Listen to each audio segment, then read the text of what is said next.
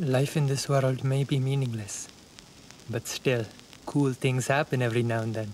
Besides, you have to realize nothing's gonna change here, or back in our old world. But we still want to see for ourselves. Hold out your hand and ask to be friends, okay? It's easy, right?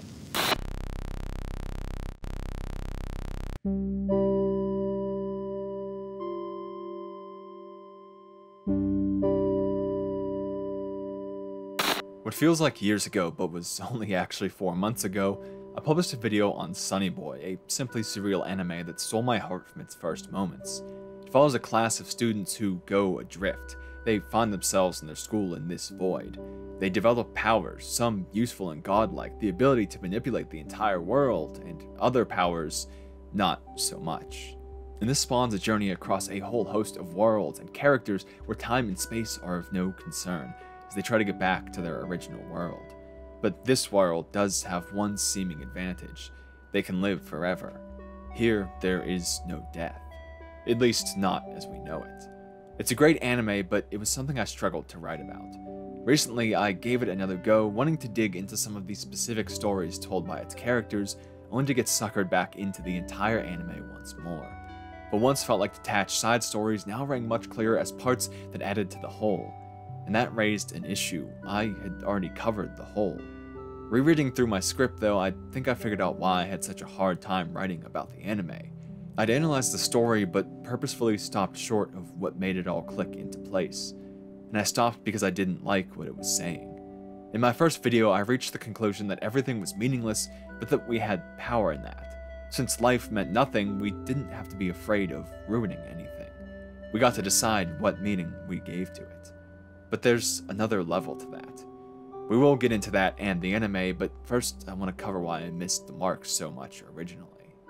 I said last time that I'm a lot like early Nagara. I don't do much, I accept failure before I try, and fear keeps me down. The last one is what's important here today. I have a lot of fears, but more so than any other is death. Like any living thing, I have the sense to try and preserve my life as best I can. But this couples with some other factors to form a debilitating beast. I can hardly think of death, not just when my body stops functioning, but the nothingness that comes afterwards, the end of my consciousness. When I do think of it, that void that comes after living, I shut down. It's incomprehensible, like a computer that was overloaded, my brain can't compute what it's like. My day is ruined, I don't want to speak, or eat, or sleep. Somehow, my fear of death sends me into what seems like the closest thing to death I've experienced. You can see why I might not ever want to think about death. In this way, when people would say to me that death is what gives life meaning, I would always disagree vehemently with the passion I reserve for things that usually matter a little bit more than petty philosophical musings. My argument was always that it was just an excuse to be boring and bland, to not adventure into the unknown. Surely, with infinite time and endless possibility, we wouldn't cease to find meaning, we would become even more meaningful. How could we not with the endlessness of everything at our fingertips? Sonny Boy's creator, scriptwriter, and director Shingo Natsume was the first person to not try and persuade me of their point by reinforcing what they had already said, but instead by building up what I had argued to show just how flawed it really was. I'm undecided on which way I feel on the issue of death and meaning as of now. I don't want to be someone who gives up their beliefs so readily, but one thing is clear. Sonny Boy makes one hell of an argument that death is what gives life meaning. One of the most striking episodes of the anime is its seventh. Separated from his class and his powers, Nagara is dropped into the Tower of Babel, a structure of legend with a twist. They're not building up, they're building down, carrying stone from the top of the tower to its base. Nagara's instant companion Futatsuboshi explains, We're trying to get up to heaven. Really? Heaven is the only way out of this place and back to our own world. But it's more than that. We're hunting for treasure in the meantime. This is met with instant questioning by Nagara, but on their harsh work schedule, there's little time to truly explain. Every day they wake up and build, with no exception and with no question. Some of them have even been doing this for thousands of years. Futatsuboshi further explains why they keep going, clinging onto the very things that Nagara so quickly questioned, saying, I don't think there are any castaways that really believe we're going to get to heaven someday. Even if it is all just BS, I'm happier chasing after that tiny glimmer of hope. Nothing else to it. Luckily, Nagara isn't one to accept such things, at least not after he met Nozomi. He escapes doing something very simple, walking up. That's all it took, just the will to move in the opposite direction, to act on something he questioned rather than accepting it blindly when it makes no sense. Over thousands of years, this is something no one else did. It seems so simple, living these terrible lives, working an eternity away. Why would no one else do this? They're trapped here forever in a replica of some of humanity's worst moments. With seemingly infinite worlds, endless time, and possibility, this is how it ends up. One man ruling over others for his personal gain. With all that possibility, they ended up with the most human situation. Infinity has no guarantees, only possibilities, like adding more faces to the dice, but one will always end face up. Sometimes these possibilities are worse than what you'd get with a limited roll of the dice, and this is one of those times. It's forced labor not just for a lifetime, but for an eternity. Knowing this is their entire existence, no one tries that simple solution the Nagara does, the way he found out in just a few days. And precisely because it's an eternity is why they don't try. When your life is limited by death, you have an incentive to try and better it. You know that your years are limited, and every day spent somewhere you don't want to be is a wasted tick on the clock face. It's morbid, recognizing that so much of our lives can be wasted because we were put in a terrible situation from day one. Like those in the tower, we don't choose the situations, they choose us. Some people will spend their entire lives just trying to get out of that situation. It's a tragic tale that's sadly representative of many of our societies. Sadly, death is part of what motivates these actions. When you know that time is limited, you have an incentive to change the situation in whatever way you can. Toiling away somewhere horrendous for 10 years is a big deal when you only get 80 or so. You can put things off until tomorrow, shut your brain off for a moment and accept the repetition and labor, but tomorrow will come. Infinity has no tomorrow. 2,000 years may seem like a much bigger deal than 10, but not when you have an infinite number of years. At that point, it's not even a discernible percentage of your life. Sure, it sucks, but you can just deal with it tomorrow. After all, eventually it will all be a speck in the past, long forgotten, not even 1% of your life at the end of the day. Your body will heal, leaving no scars, your mind will fog, covering the pain. It's no big deal living without meaning like this, just serving someone else's. Precisely because they'll have the time to search for meaning, they have no reason to look for it now. It can always be deferred to the tomorrow that will never come. This travesty bearing the name Babel exists because life here is limitless. Again, it's morbid, but think about it. If you had forever to find your purpose, would you search for it right now?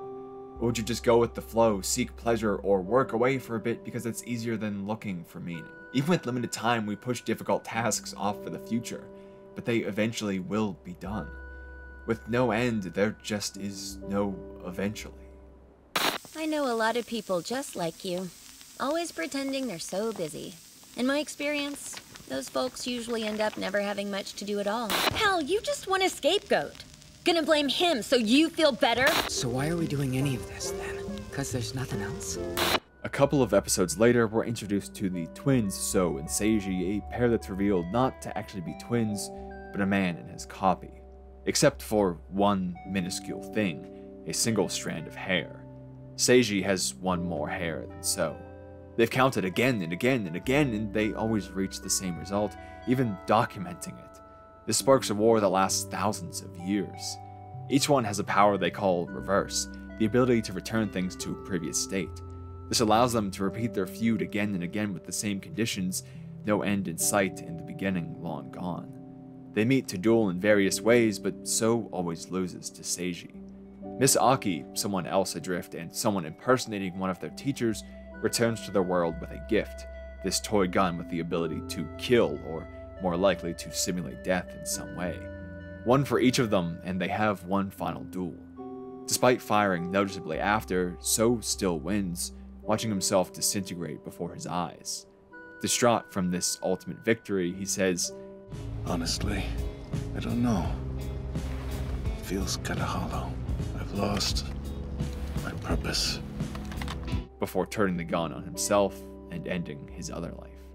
It's an asinine feud, wasting so many years, hundreds of lifetimes on a singular hair in a world where nothing ever changes. With infinity at their fingertips, this is what they end up doing. Imagine fighting with a friend over a single strand of hair. If you spent even an hour on it, it would feel like a waste of time, and you'd probably feel stupid to even think to make it a big deal. But that's only because our time is limited. We have to pick and choose what we spend it on. We're forced to decide what's important to us and what isn't because we can't do everything. When you remove this restriction, it doesn't allow us more time for the important things, it just makes it so there are no important things.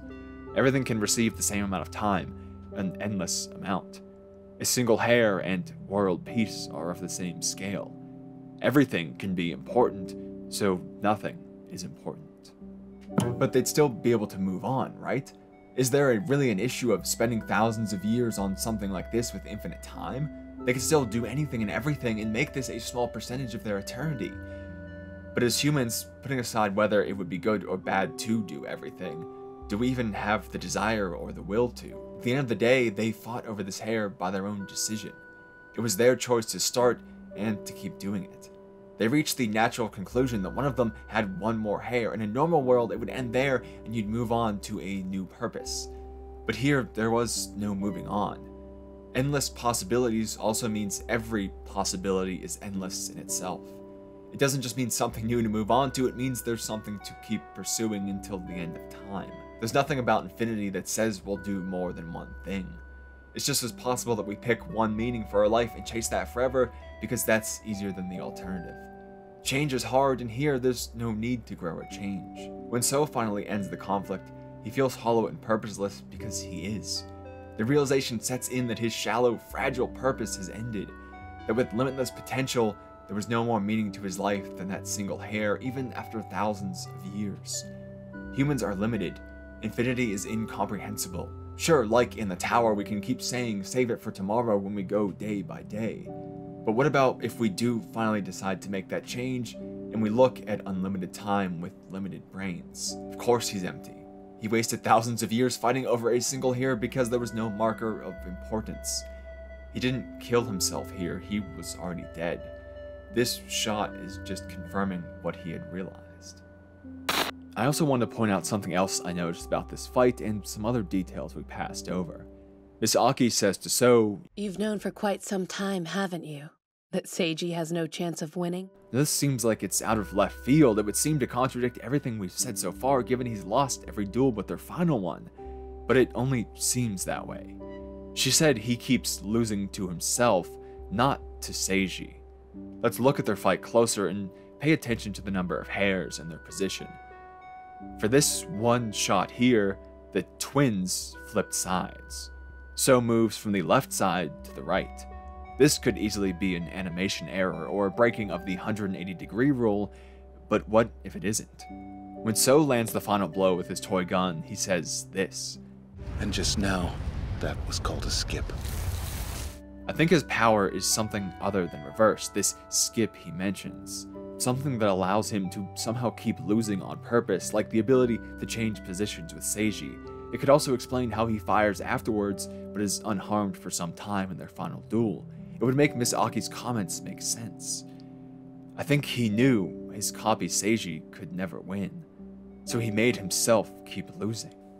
Why? Why would someone do this? Maybe to prolong the fight, internally crying out that he hoped one day he would be able to overcome himself? That he could witness himself do so as proof? That this replica could grow or change in some way, that it had the potential to, even if the form he took right now somehow didn't? That his character had some ability to? It's like some kind of evidence that he could be better than what he is right now. But that day never comes, and he's left with only the knowledge that he wasted all of those years, and he has left himself with nothing. With infinity at his fingertips, he never once allowed himself to be better than this. He never had an incentive to change, to actually try and win the battle against himself. So he never did, and it leaves him hollow.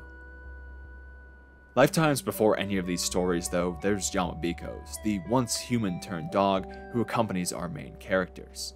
Once his class went adrift, he left them, finding more comfort in aimless wandering than in their company. Eventually, he stumbled across Kodama's world, a bright girl who forced him to interact and eventually began to break down his cold exterior. He began to feel happy in this world for once, But it was short lived, as a man named War was found on their land, bringing with him a plague of carbuncles. The people would become covered in these sores, which grew and eventually took over their entire bodies. They don't technically die, instead, changing form, turning into nothing more than stone, a workaround for death in this world. And it's not quite true that war brought the plague. He reveals to Yamabiko that it wasn't his doing, but actually Yamabiko's power. Aren't you curious why you're the only one who's not sick and covered in carbuncles? It's because this world is entirely your creation. The ability to materialize what was inside my mind. That was my power. And what it did was remove everyone else, leaving just him and Kodama. This is never confirmed, but I think the reasoning for this manifestation is that he wanted to be alone with Kodama. He loved her, but he had an inability of expression. And she, on the other hand, was viewed as perfect, the one who allowed her classmates in this tag along to live such comfortable lives. He was just some stray that found his way in. I think he manifested like this because he wandered aimlessly, and with infinite time in that wandering, he never became someone who could love. He saw himself as fit to serve her, not to love her. His form is likely a result of this and his power. A stray who wandered in to serve someone better than him, believing she could never love him, he changed his form to be one that couldn't be loved like a human. His desires and meaning were locked in his own head forever, and it led to loneliness and ruin. All of this, his form, the plague, wouldn't have happened if what was in his head had some reason to be put into words. But this is a world which has no reason to take those risks. You might say it's the opposite in this endless wealth of time, and without death, it's the perfect place to take risks. But is it really, especially when it comes to love? If Yamabiko's time was limited, there's an incentive. He would have a reason to tell Kodama that he loved her, because he could die with the regret that he never did. But with infinite time, there's no reason for desire to ever overcome fear. If they say no, you didn't miss out on a lifetime with them, you missed out on an eternity with them. Death provides the basis to find meaning, to find love, but it's more than this. Eventually, Kodama dies as well, and Yamabiko is left with nothing. Telling a story to Mizuho and Nagara, he recognizes that Kodama had the same desire as him, expressing a wish to travel to the places he told her about together. The signs were there, how much she tried for him, and the treatment she showed someone who was so harsh and so rude at first, the fact that despite all of that, she kept trying to help him. But he had no recognition of this importance until it was gone. Without loss, he had not just no incentive to risk himself for love, but he had no idea that he could or even should. He had no idea what was important and worth risking for. It's not just our own death that provides limitation and meaning, it's others. Eventually, they'll be gone and we'll be left with just the memories of them. The joy that we shared a meaning or the grief that we never tried to. For Yamabiko, his memories are only of assisting and serving and never of loving. In a world which has never known loss, he had no reason to push for love. But I never opened my eyes to see that. All she wanted was to walk by my side. But I'm done with all that. Okay, understood. I guess you could say she didn't want to relive memories with him. She wanted them to create a future together, go into the unknown. But loss is eventually introduced to this world in a few ways. One of them leads Nozomi to her fate. She accompanied their classmate Asakaze to kill War, a task he was given by God. He was told to invent death in a world without death. He succeeds, and just after killing War, Nozomi falls from the cliff crumbling. But once Asakaze had invented death, there was no way to stop hers. His power would normally allow it, he could manipulate the world, but with death, fate took its toll. Nozomi was always chasing death, and it finally caught up with her. Eventually, the news reaches Nagara and Mizuho, where they decide to hold a funeral for her. And there's a very touching note about Nozomi's funeral, in a similar vein to love, but about how we make it meaningful. It's a depressing scene despite the beautiful sights and upbeat tune. The fact that they put so much effort into making all of this, crafting it by hand, and then getting in touch with everyone too, and then the, none of them bothered to show up. Even with unlimited time, they didn't bother to make time to remember Nozomi, while Nagara and Mizuho were working away to make this for them so they could remember her. The note that hits the hardest about all of this is that Mizuho could have simply ordered all these things. She has the power to order anything she wants. The tents, the meals, the decorations, all of it could have been ordered. But they didn't do this, and it was touching that they didn't. They decided it was important that they use their own time to do so. While they may have still had all the time in the world, I think it still says a lot that Nagara, the boy who did nothing, and Mizuho, the girl who ordered everything, limited themselves for this moment. All those objects are just things that exist. A crab, or blue and white striped tents, or paint on a canvas, none of them are any different from the sand they sit upon. Things and nothing more. But they gave them meaning through their sacrifice of time and effort. Without death, these moments would grow infinite, these things could mean anything. The fact they did this would eventually lose its meaning in the endlessness of everything, and the fact that they would have had no reason not to do it. The fact that they could have given everything to her memory, rather than having to pick and choose what was right for it. It's not just how we use our time, it's how we use it for others, and how we decide what meaning they have or had for us. Eventually, Nagara and Mizuho's once companion Rajdhani returns for this funeral after a long voyage to see all of the worlds he could. With relative time, what was a couple of years for them became 2,000 for him. In that time, he'd seen all kinds of times and places across these worlds. Presenting the most striking story within the anime, he tells of a peaceful world with one outlier.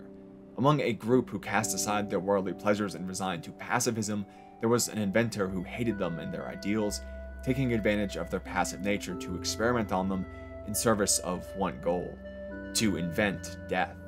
He saw it as the only way to break up the static nature of this world. Eventually, he succeeds, but not in the way you'd think. Rather, he alters himself so much that who he was no longer exists. He comes to peace with the world he was so angry at. Where he once chased endlessly after goal, his desires are now gone.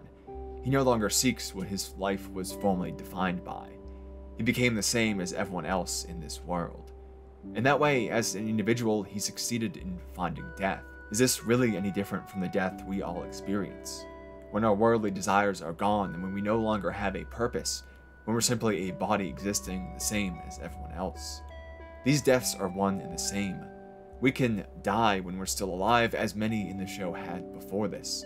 The workers in the tower who will live forever chasing dreams they know not to be true, like shooting stars or finding treasure, because it's easier to fit in and follow than to walk the opposite path. The twins who fought for years over something so pointless, static as possible, and devoid of real purpose. War who traveled around these worlds bringing death and rewarding himself for it.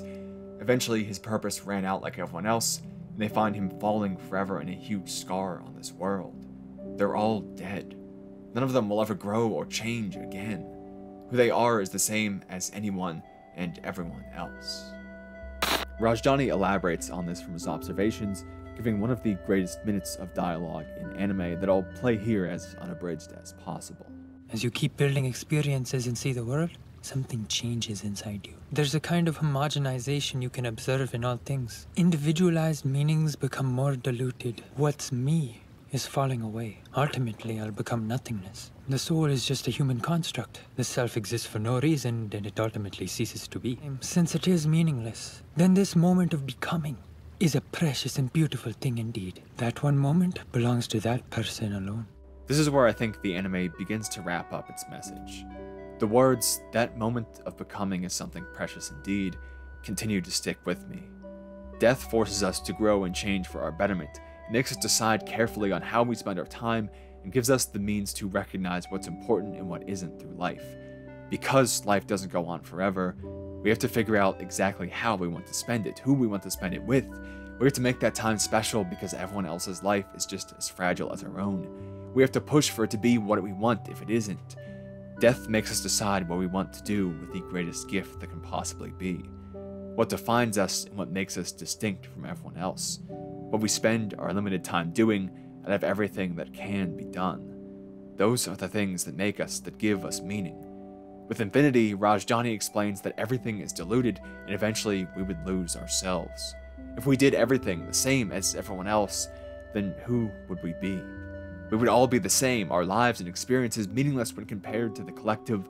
We would be the tower workers, the twins in war. We would all die the inventor's death the moment when we recognized we are nothing. But death is that moment of becoming, where we're solidified not as everything, but as something indeed. to make this lesson even more poignant, it's capped off with a scene where Nagara cries over the loss of Nozomi, the one who pushed him to be or do anything in this world. Without her, he would have had not just never the chance to go home, or not just found his power, or not have seen such amazing sights, he would have never even gotten up off the floor. The life he had here was because of her. Rajdhani sits next to Nagara as he cries and says, I've learned much about life and the nature of the universe. However, all I know to do for a friend crying in despair is sit beside them. After 2,000 years witnessing all of the pain of these worlds, there's nothing more he can do. He's seen so much, but can do nothing for this pain. I think there's more of a reason for this than just human shortcomings. There's one thing we all experience at some point that's unique to all of us, and that's the pain of loss. When someone else has died. When their being ceases and they're solidified as someone unique. They were someone who hadn't existed before, and someone who will never exist again.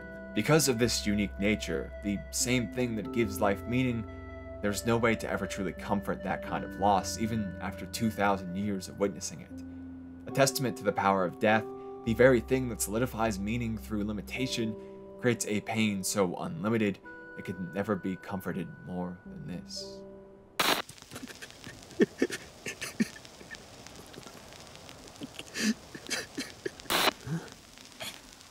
Hmm. We're really glad that you're okay, man.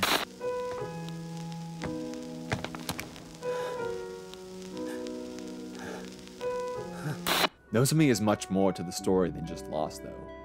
She's the baseline and the endpoint of the lesson. As we said, she pushes Nagara to do anything at all. The series opens on him lying on the floor, content to do nothing with his now limitless time. Both before and after they went adrift, he had no purpose, no meaning.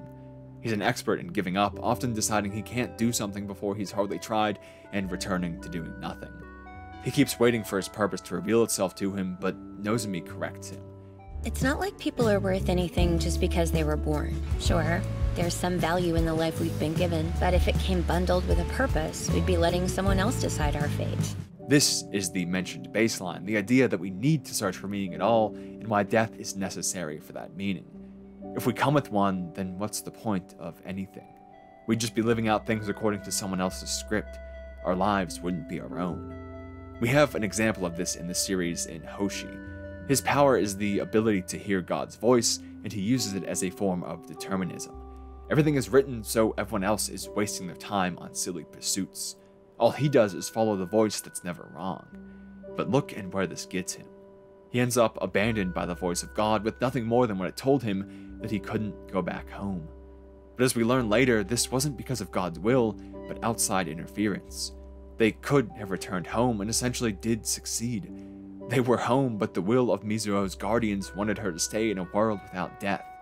They made it look like they had failed. And with the idea that God's word was true, they all leave, content that there was some truth in what he said. Had Hoshi not listened to the voice, would things have ended differently? Could they all have found meaning? Maybe not, but they at least had the possibility to. There would have been a meaning to his actions if nothing else, one he decided for himself. We can never be certain if fate exists or not, so why act like it does? All that means is we aren't living our own lives. That we're taking a sure path for nothing more than the fact that it is sure. Is that meaningful? Nozomi says, If I just took the safe options and did exactly as I'm told all the time, I wouldn't look back and say, Good job, me. We all end in the same place, whether in this world or that world, eternity or death. So the only option is to make it so you can look back and say to yourself, Good job. Nagara, after being pulled by Nozomi to witness this amazing sight here, begins an exchange with her. Don't you ever get scared? Scared and anxious. Then how? To be honest, it's why I do stuff like this. Nozomi is all about breaking the rules and taking risks. When they first meet properly, before they went adrift, she's on the school roof tearing up her textbook. Once they are adrift, she denounces the student council forcing the rules on everyone in this new world, and she's harshly against Hoshi's determinism explored above. Yet, she's one of the few who remains focused on returning to the real world, where everyone else who wanted to before has moved on. Given the chance, everyone else stays in this world. But this girl, the one most representative of possibility, is the one who not only wants to return, but makes doing so possible. When she dies, she leaves behind a compass one that Nagara and Mizuho used to find their way home, in addition to all their work and planning, of course. But why would this girl, built on the idea of risk and rule breaking, want to return to a world where risk had consequence and rules were in place to need breaking? Well, that actually answers the question quite well. Without consequence, there is no risk, and without rules, there is no breaking them. Put another way, there's no marker for the things that are meaningful or worthwhile. The risks we take to define what's important to us, the things worth risking over, the thing Yamabiko never did. The rules we break are the ones we find unjust or that stand in the way of our meaning. They let us know our fight has importance, that we are ourselves. The ones we follow can do the same thing, following purposeful restrictions in the name of something greater. From these limitations, she becomes someone unique, as we all do. Her power was to see a light, what she interpreted as the way to return to their world. When she grabs it, they happen to return, but something else also happens right then. The world they return to is one where she's dead. I don't think that light was her way home, I think it was her death. And the compass she leaves behind, her power holdover, is the item that leads her friends back to a world with death. Once they return, the needle goes wild, pointing in every and any direction where before it stayed true. Besides the literal pull it would have to have felt to this world function, it's also like it's pointing to meaning or purpose. In the world of endless possibility, it stayed in one direction, forever locked on something to follow. But Nozomi was the one who said we have to find our own meanings. Her compass wouldn't lead others to their meaning. No, it would lead them to where they could find it, and let them make the limited decisions that define them as someone with purpose. Once they rejoin the real world, it points in any and every direction. It no longer gives them something to follow, and they have to find their own path to move on. In a way, pointing nowhere in particular is more meaningful. In this world, it was limited, only guiding them in one direction where they could find meaning. Here, it's pointing everywhere. In our world, with death, they have endless opportunity for meaning, one unique to them because of limitation. She led them where she led herself, to death, the reason to ever find meaning.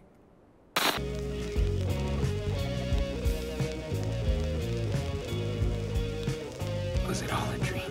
Remember what you told me? You said we couldn't change the world. The only thing we could do is roll the dice.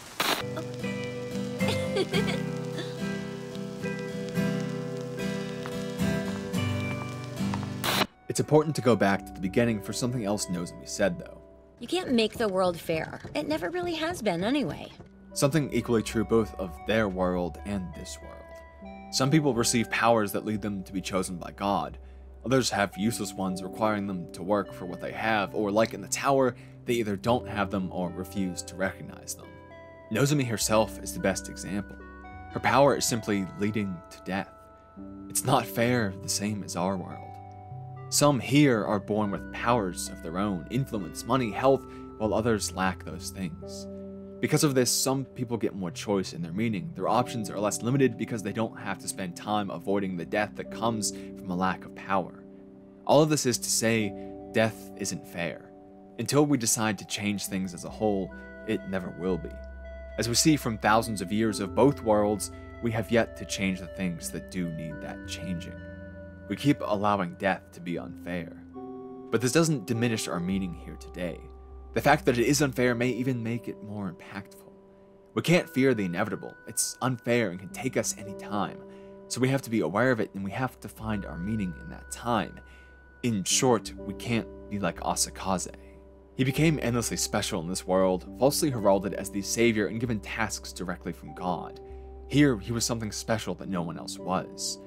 But these are some of his final words. I'm the only one left at this point. There's nothing here for me. Despite recognizing this, despite stating it to them, he stays. He stays with the people who blindly followed, the people who constantly blamed others rather than searching for themselves, the people who toil away with no purpose, the people who were fine doing nothing for eternity, all the people who never change, who have no meaning. This world is described as stasis because it is. Physically, they don't age, heal, or grow, but they still get hungry. They still have the drive to seek pleasure, but none to better or to preserve themselves. Eventually, they all find death the same as Nagara and Mizuho will. The only difference will be more time and a lack of meaning when they finally do die. When they become like war, Asakaze stays because facing death is a fear too great, finding a purpose outside of the powers he was given is too hard. Recognizing all of this, he chooses existence without meaning out of this fear, and it will never lead him to something better, only to something longer, something less meaningful. The stasis of this world. He's the warning of the series. Death is unfair, it's cruel and unique in such a way it will hurt us all in awful ways that no one will ever understand. But if we simply ignore it, then eventually there will be nothing left for us here either. Nagara is the reverse. He enters this world in stasis but leaves it outside of it. Where most of the anime is showing the danger of limitless possibility, he lays down the evidence that possibility itself isn't bad. Before they went adrift, he was someone who would likely live his entire life depressed and alone. His home is full of garbage and his mother doesn't care to attend his graduation. He's alone because of his situation and he learned to keep himself alone. To declare he was a failure before he even started. He walks past birds dying on the sidewalk because what can he do? When he returns from this world, almost all of these facts are the same. His home is still a wreck. His mother still doesn't care. He's still not popular or exceptional.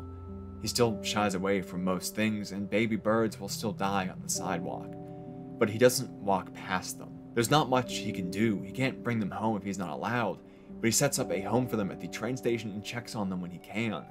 He does what he's able to with limited possibilities. He finally recognizes possibility because he went adrift, having a space where he could learn from others, interact with them, and figure out who he was and all of that, and it changed him. Without a taste of everything, he would have had nothing. Nagara is the idea that possibility is good, and the world they went drift in is the idea that endless possibility is dangerous. But in line with this, there's something else to be said about how he returns and immediately settles back into the toil of daily life with just those minor changes and a new mindset.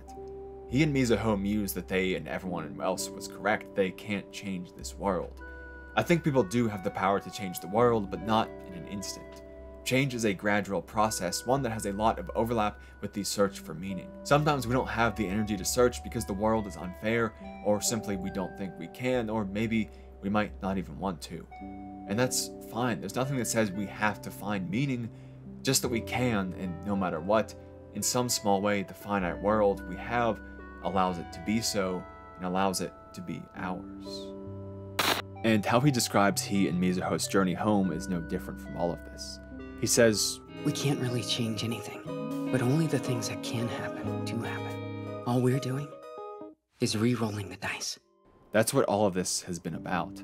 The journey of returning to a world with death is the process of beginning to find meaning, a roll of the dice that can't be undone, one you might begin to question if it happened or if it was right, like he and Mizuho do.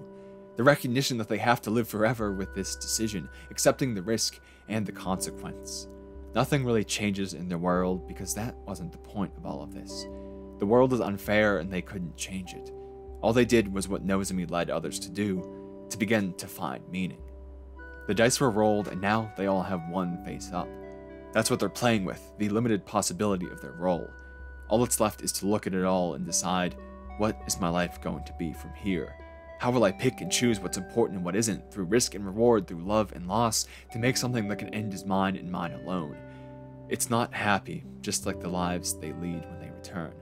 There's no guarantee of happiness, there's no guarantee of anything, except that one day we will all be no more. So don't focus on the end. We all fear death, but don't let it stop you. Don't let it leave you with nothing more here for you. It's about a journey, our one journey, the one we give meaning to. Our lives are just getting started. The road ahead is full of twists and turns. Thank you for spending some of that time, some of that search for meaning with me here today, for showing me that something so meaningful to me is to you and others as well. I really do appreciate that. And I hope you'll do me that honor again sometime soon.